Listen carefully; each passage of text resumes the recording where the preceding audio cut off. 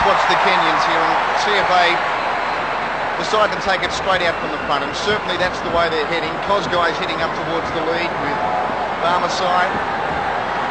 Misoi staying at the tail early, but two of the Kenyans, first and second early, with Kosgei going to the lead. Barmasai, the world record holder in second spot. Chris Unthank settling well back in about third or fourth class position. Now there's a couple of positions that you really want to be in in the steeplechase. That's either right out in front, wide, on the outside, and certainly finishing fourth behind the, the Kenyan, the mighty Kenyan steeplechasers is, uh, is something that we can still be very proud of. Well, a lap to go, and Kosgei, who has sat on the world record holder Barmasai the entire trip, now goes past him with just over 300 metres to travel. But Barmasai, still with petrol left in the tank, he sticks with Kosgei. Misoi trying to lift in third spot. They are well clear of Bourgeois and Unthank having their own battle for fourth and fifth as the Kenyans are about to go at it. They've got a, an amazing record in this race. They've won five of the last six. The only time they missed was in 1986 when Kenya boycotted. But now here goes the world record holder Barmasai. He puts the foot to the floor as they come to the water jump for the last time.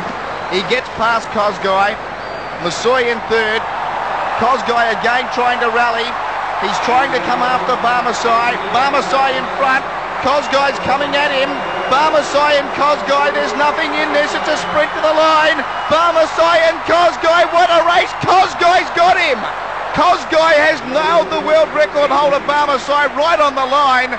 Misoi runs third. The Kenyans one, two, three. And they've just missed the game's record and the race for fourth and fifth between Bourgeois and Unthank will go to Bourgeois.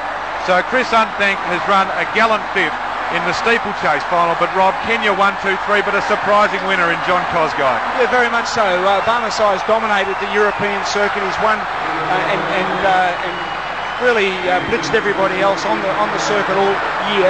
Come the major championships, because the, the races are so different, often you can see a little bit of an upset, but uh, you know a great run by Kosgei.